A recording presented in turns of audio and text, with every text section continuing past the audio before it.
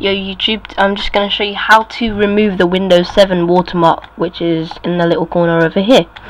So, first you want to uh, go to this site which I'll give in the description and download it and open it with WinRAR just extract it to your de desktop uh, the which one you want so uh, it has a 64 bit and 8 uh, and 32-bit thing so because I'm 32-bit I just want to extract this.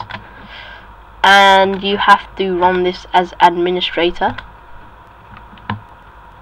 And you just want to follow all this so Y yes.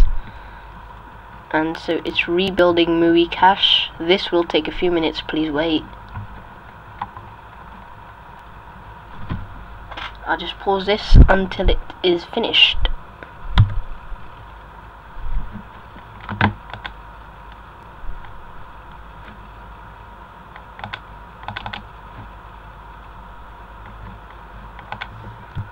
so it's just finished and you have to restart your computer to take effect. So I'm just gonna restart and show you after I rebooted. By the way I'm in VirtualBox that's why I can still uh, you know take this otherwise it'll stop Cam Studio obviously. So it's gonna reboot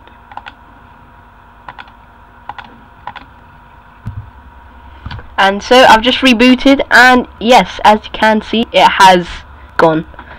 Let me just check this. This is recording? Yes it is recording. Yeah so thank you and that's how to remove the Windows 7 RC watermark